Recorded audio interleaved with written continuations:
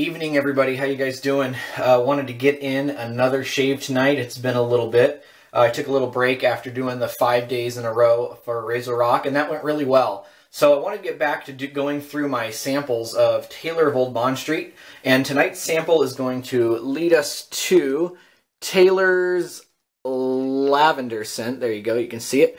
And uh, one of the really cool things about this lavender soap, that as you can see, it is purple. Um, super cool, kind of different than any soaps you, uh, any other soaps that I've had. And um, the scent on it is definitely just straight up lavender. Um, I kind of compared it to um, the lavender essential oil. I assure you it's lavender, even though it won't focus. There we go. And um, obviously the, the pure oil is much stronger in scent but the same type of flowery, um, flowery lavender I get in the pure oil, I definitely get in the cream. I don't know if the scent in the cream is from pure lavender oil or from a fragrance oil. I really just don't know. So um, I've already washed out my face with the uh, against the grain bar. And so I'm just going to put a little more water on there. And once again, apply it against the grain. Uh, one thing I'm noticing that as this bar is getting smaller is that it's getting a little bit harder to hold on to. But you know what? Still a wonderful, wonderful product. And for my brush today, as I have used for almost all of my videos, the Simpsons Chubby 2 in Best Badger, an amazing brush, almost dropped it right there. And so with the cream, um, I'm finding that with these little samples that I got from Maggards, I'm getting about four or five shaves from each one, and that's really cool. Um, so a little bit of cream, just kind of rub it into the bristles. Um, I don't know if it's because the creams have sat in these tubes, in these little tubs for over a year or more, but I am finding that they, they feel a little bit dry and, and hard to rub into the bristles, and I get, you know, chunks that are falling out and stuff. But um, I don't know if that's just kind of what I'm experiencing. I'm guessing it's because they've been sitting around so long. See, I can't even keep it in my brush. So, anyways, I'll get lathered up and get going with the shave.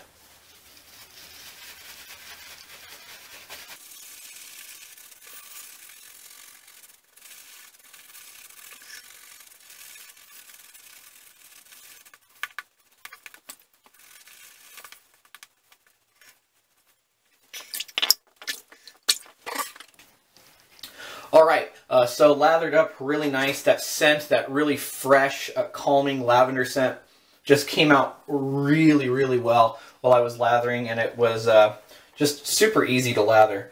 Um, for today's shave, I'm just wanting a calming, comfortable shave. Going with my, for my razor, my vintage Gillette flare tip, and it's got a feather blade in it, and this is the second shave, so it'll be the final shave for this blade and uh, I expect it just to perform beautifully. So um, I'll line up my sideburns like I always do.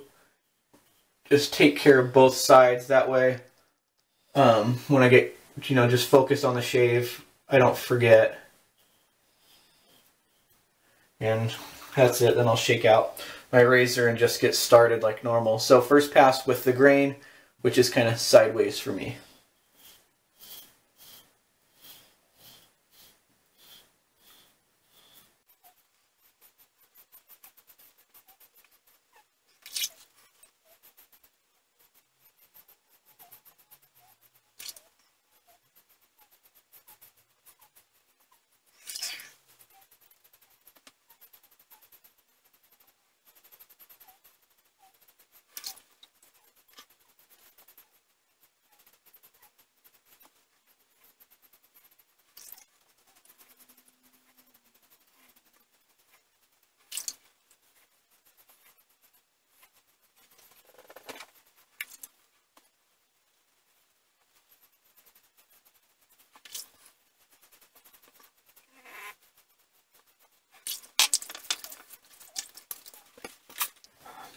All right, first pass done and uh, really nice. I love that flare tip razor, the vintage flare tip. They're so nice.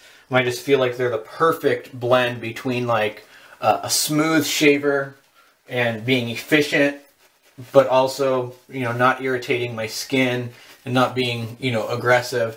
And there's so many razors I've tried that are either wonderfully efficient but give me, you know, some irritation, or they're just so mild that they just don't really work for me. And um, I'd have to say that the flare tip is just one of my absolute favorites because it just finds that perfect balance between um, comfortable and close. I just wish that Gillette would get smart and start making them again. But I guess if people are buying um, a pack of three blades for like 20 bucks, then Gillette's the smart one.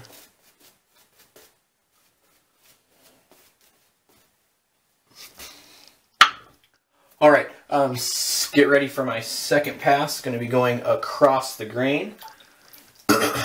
and here we go.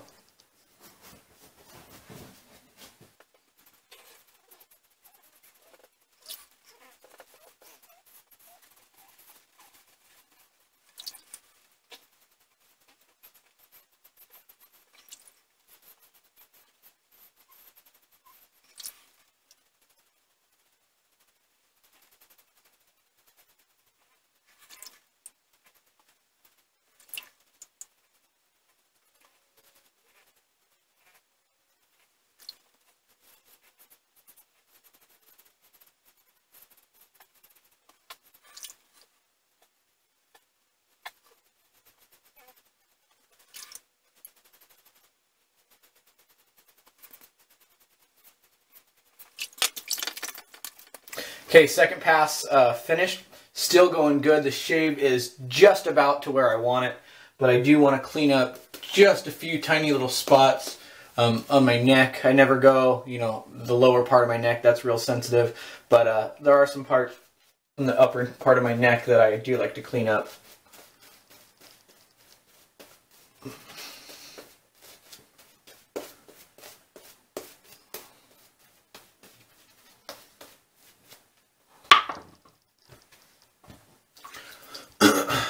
Okay, here we go. Just a few cleanups.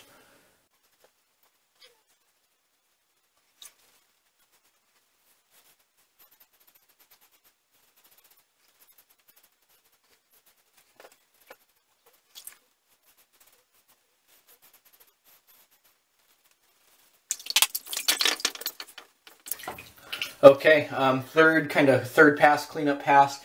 Went really good. I'm super comfortable where the shave is. I don't really want to push it any further. So I'll get cleaned up and then finish off.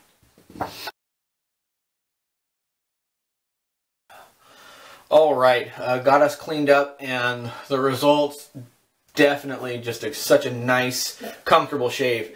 Um, the lavender soap, it is good. And just like with the other Taylors, I've kind of experienced that the, the way they lack is in that post shave and that slickness. Sorry, I got a dog barking in the background.